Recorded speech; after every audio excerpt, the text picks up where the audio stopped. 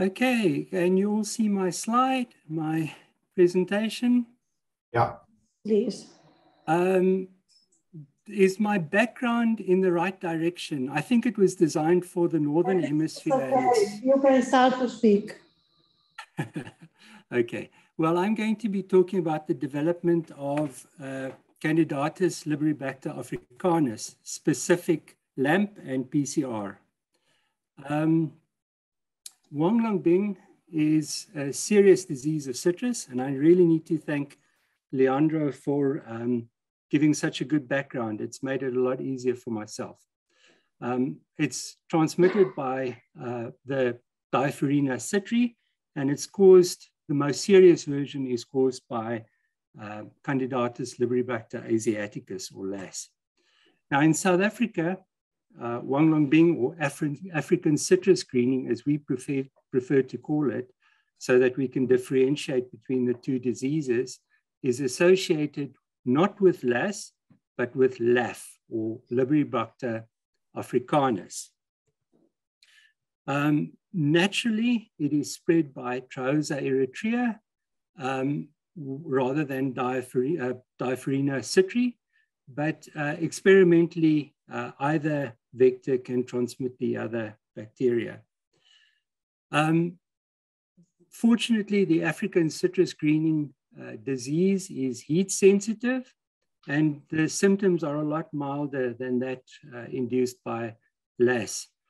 Um, citrus greening has also been known in South Africa since the 1920s, and our industry has had very good success in controlling this disease through controlling the psyllid and through um, cutting out infected branches.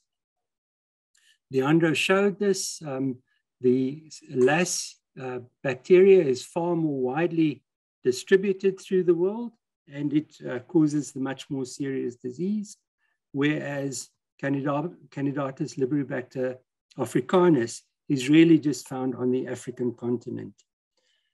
Now, what complicates the situation for us in South Africa and possibly in the rest of Africa, this might also be the case, is that Citrus africanus has a number of subspecies which occur on indigenous members of the Rutaceae.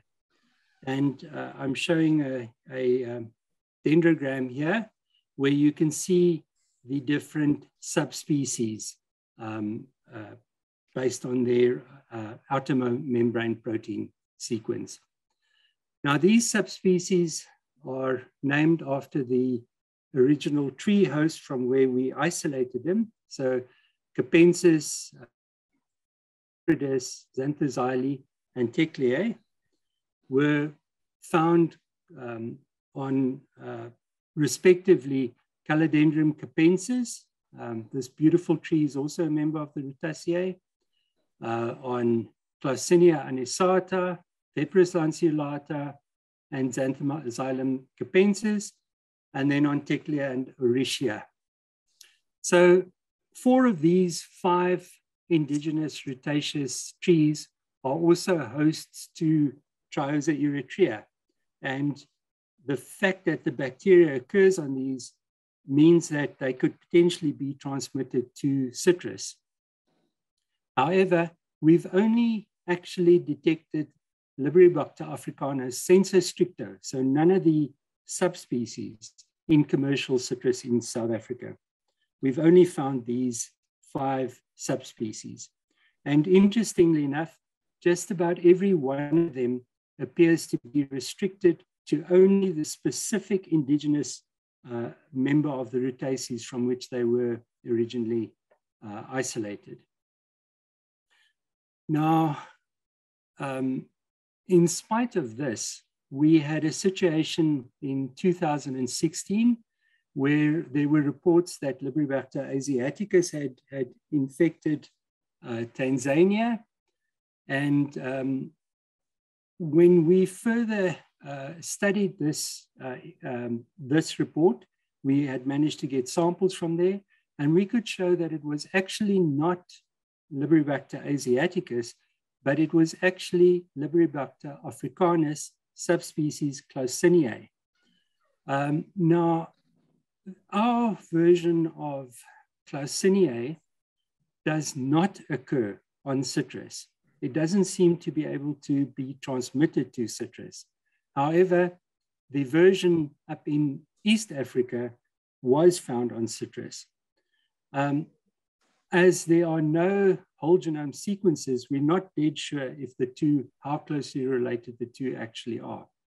So having all these subspecies around needs, means that when we want to detect the virus, we have to be dead sure of what we are detecting. So did I say virus? I meant bacteria. Um, we need to ensure that any lamp that we design would detect LAF, but not detect LAS lam, uh, that's Liberibacter asiaticus or americanus, and also not the LAF Clausinia version that's found in citrus or biovar citrus as it's known. Um, and then also preferably, we would prefer it if it didn't detect the other citrus uh, subspecies, the other Africanus subspecies.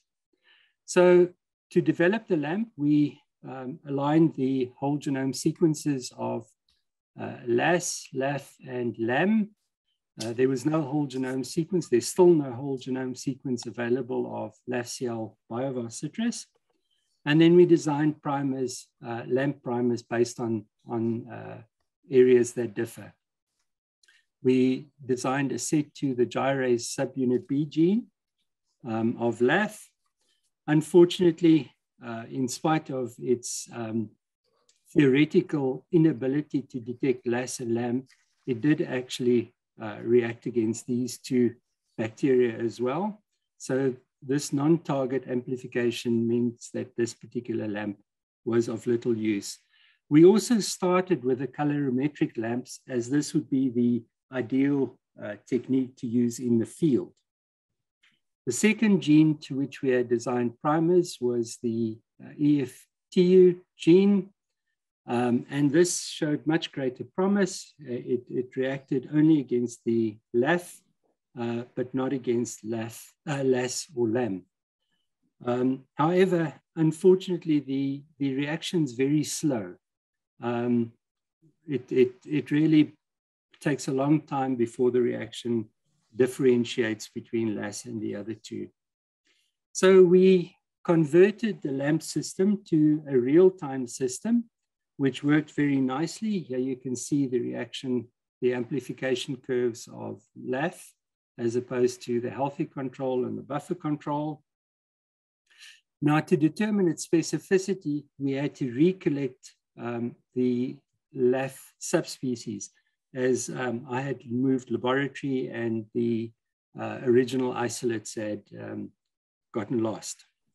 So um, we retested these with generic Liberibacter primers. There's a real-time PCR that detects all, all known Liberibacter species. And then there's a very good endpoint PCR system with the A2J primers that was designed in 1999 already. Um, these confirmed the presence of Liberibacters in these indigenous plants. And then we designed primers which would flank the LAMP uh, primers to ensure that we could generate sequence data to this area. Once again, these reacted with a large number of the um, indigenous uh, LAF subspecies. But when we used the, um, when we tested the real-time system, you can see these, these purple lines and the red lines are the amplification um, curves of LAS. But unfortunately, you can see that these two uh, amplification curves represent those of LAF uh, Clausenae. So in fact, the, the Clausenae is detected better than LAF in our system, or it had a higher concentration in the indigenous plants. Either way, we were unable to differentiate the two. So um, we decided to also develop a, a, endpoint PCR because the lamp also was not consistent. We would find great inconsistency amongst the replicates um, of our tests. And we couldn't improve this even by changing the ratios of the outer and inner primers to, we tried various combinations, um, or the primer concentrations. We just couldn't get the, the consistency uh, up to acceptable levels. So we don't consider the LAMP as a very successful uh, detection method. So we have gone ahead and developed a multiplex PCR, which can differentiate between LAS, LAF, LAM, and all the um, LAF subspecies. This was based on the outer membrane protein gene. Uh, we designed these primers um, and we could show that they detect and differentiate the different subspecies very nicely. We tried them in duplex and in simplex, um, uh, in triplex uh, format. Um, and for, in most instances, they work very nicely. We confirmed through validating the system that they detect only LAF and not uh, the more closely related subspecies that we had detected. So to conclude, um, the LAMP system development was not a roaring success, but we do have a LAF-specific PCR system, which we do recommend for routine use. Um, we do not have a isolate of the LAFCL biovar citrus, which is found in East Africa, but we do recommend that this particular system, um, our PCR system, gets tested against this isolate as well to ensure that it doesn't detect that.